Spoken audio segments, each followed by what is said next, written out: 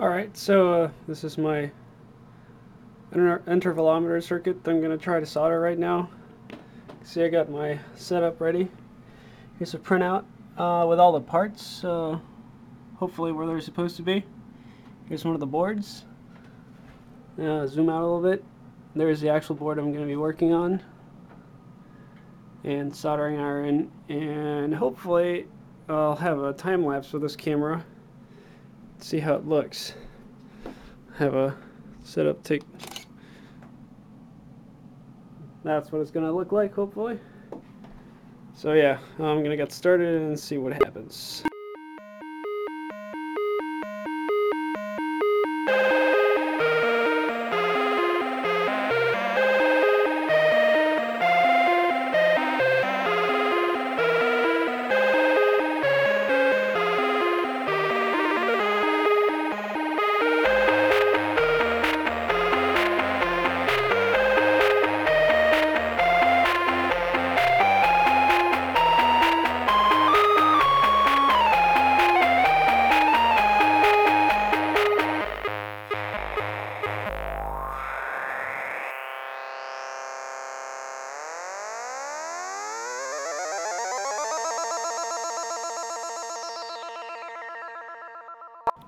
Okay, so I've soldered everything.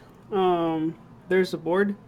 It's attached to this uh, programming uh, kind of clamp header because since it's a surface mount and I didn't put any programming pins in the board, uh, that's the only way I can program it. It's connected to my AVR Dragon, um, which is a programmer, it's USB. And I don't know if it works, so I'm going to find out right now. I'm just going to program it really quick. Hopefully it works. Okay, uh, it looks like it programmed. Uh, now I just need to get a battery and test this guy to see if it actually if it actually does something. So we get a battery. Okay, so I got a battery and actually make sure this guy's off first then I, I think this is how it goes. Maybe, maybe not. So if, when I turn this on, hopefully it'll blink. And it didn't. Okay.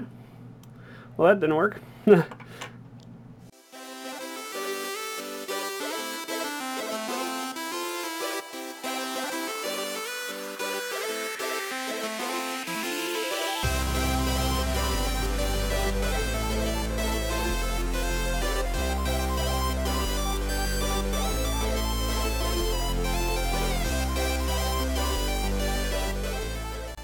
So I just realized I uh, programmed the wrong fuse bits onto the AVR and bricked it and I can't recover it so I'm going to figure out how to desolder it and uh, put another one on.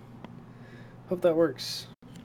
Okay so I just uh, resoldered a new processor in and uh, after programming I noticed that it starts working so plug it in here and you can see the lights blinking uh, at every two seconds, which is what it's supposed to do.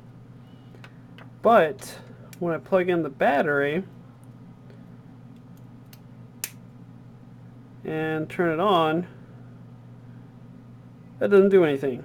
So my guess is something with connection with the batteries off because I am seeing some strange voltages so I'm gonna have to check it out and see but the good news is that the program works. So my programmer little clamp thing works. So that's uh, that's good. So I found a bad solder joint on the voltage pin. Uh, what happened is when the clamp was holding it down, it would make a connection.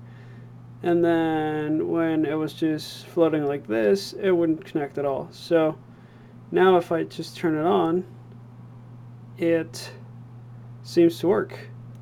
Now let's test it with a camera really quick. So here's the connector to um, little two and a half millimeter phono jack. And then this guy connects to the camera. Let me make sure the camera is on. Alright, so here's the intervalometer. Camera's connected, and let's see if it actually works. Whoop. Yep, it's working great. Perfect. Alright, there are still some uh, other things I have to fix, but uh, this is good enough for now. Uh, yep.